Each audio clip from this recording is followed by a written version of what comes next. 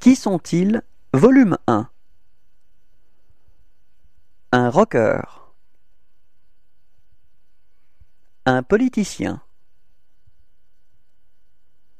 Un équilibriste. Un agent secret. Une actrice. Une sportive. Un garde du corps un ange, un chèque,